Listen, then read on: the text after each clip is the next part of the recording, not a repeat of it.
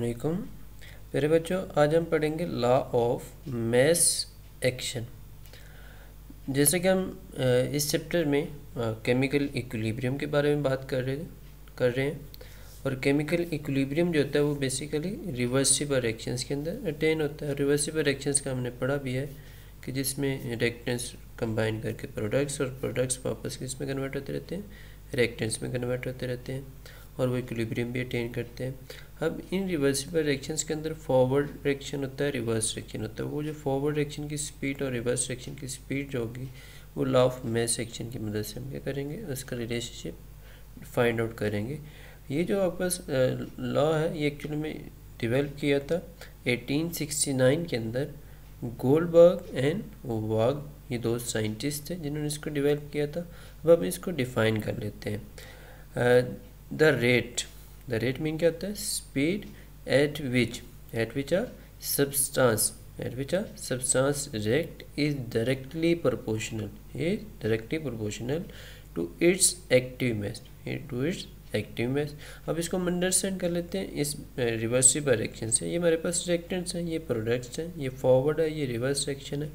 अब वो कह रहे हैं कि जो आपके पास रेट होगा, चाहे वो फॉरवर्ड का हो या रिवर्स का हो, वो जो रेट होगा वो रेट आपके पास क्या करेगा? उसके एक्टिव मैस के डायरेक्टली प्रोपोर्शनल होगा।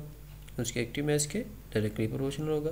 अगर तो एक रेक्टेंट है तो एक रेक्टेंट के एक्टिव मैस के डायरेक्टली प्रोपोर्शनल होगा। अगर दो रेक्टेंट है तो दो रेक्टेंट के प्रोडक्ट यानी दो दोनों रेक्टेंट की एक्टिव मैस को हम क्या कर देंगे? मल्टीपल कर देंगे। और मल्टीप्लिकेशन को हम क्या करेंगे? प्रोडक्ट का नाम है अगर तीन रेक्टेंट है तो तीन रेक्टेंट के प्रोडक्ट यानी प्रोडक्ट के डायरेक्टली प्रोपोर्शनल होगा।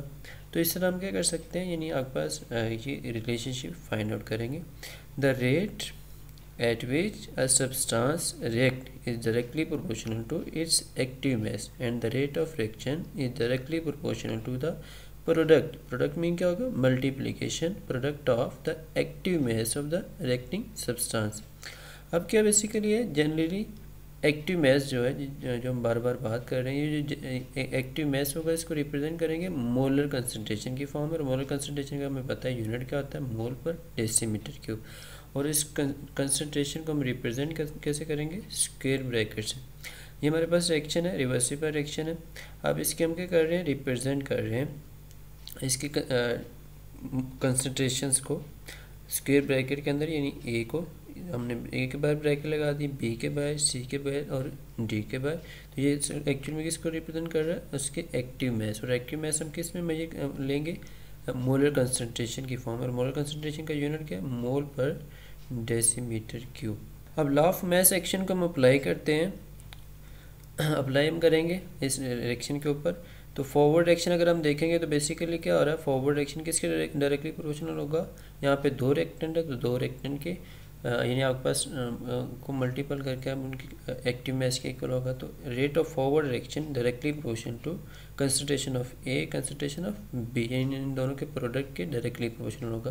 प्रोपोर्शनलिटी साइन खत्म करेंगे तो यहाँ पे कांस्टेंट आ गया के एफ़ बाकी आपके पास क्या रहेंगे? वी कंसंट्रेशन वैसे हमने साथ ली सेम अब हम रिवर्स सेक्शन के लिए इसको अप्लाई करेंगे तो रिवर्स सेक्शन किस के डायरेक्टली प्रोपोर्शनल होगा? उसके प्रोडक्ट जो प्रोडक्ट के कंसनट्रेशन के प्रोडक्ट के इक्वलेंट होगा तो यहाँ पे प्रोपोर्शनलिटी साइन खत्म करेंगे तो क्या जाएगा? इज़ इक्वल टू और साथ क्या आ जाएगा कांस्टेंट कांस्टेंट यहाँ पे क्या आ रहा है? के आर साथ कंसनट्रेशन हमने वैसे लिख दी तो के एफ़ और के आर यहाँ पे क्या आ गए? दो प्रोपोर्शनलिटी कांस्टेंट अब हम क्या करेंगे? At equilibrium set equilibrium set का हमें जैसे पता है लास्ट लेक्चर्स के अंदर भी हमने डिस्कस किया इक्विलिब्रियम के ऊपर क्या आता है? Rate of forward action become equal to rate of reverse action तो हमने लिख दिया rate of forward action is equal to rate of reverse action तो होता रेट ऑफ़ फॉरवर्ड एक्शन किसके is equal to K F into concentration of reactants equal to क्या आ जाएगा? रिवर्स सेक्शन किसके इक्वलेंट है? ये हमारे पास इसका वैल्यू आ गई। अब हम क्या क्या करेंगे? कांस्टेंट एक साइड पे रख लिए, बाकी कंसनट्रेशन एक साइड पे कर लिए।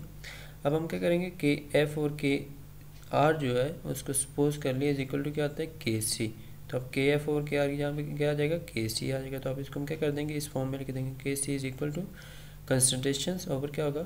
कंसनट्रेशन ऑफ़ रेक्टेंट्स आपके पास आ जाएगा। तो ये हमारे पास क्या आ गया? इक्विलिब्रियम कांस्टेंट तो लॉ ऑफ़ मैस एक्शन की मदद से हम क्या कर सकते हैं? इनका रिलेशनशिप इन कंसनट्रेशंस और उसके जो रेट होगी स्पीड होगी, उनके दरमियान क्या कर सकते हैं? रिलेशनशिप को फाइंड आउट कर सकते हैं। तो ये था हमारा आज का टॉपिक ओके, अल्लाह हाफि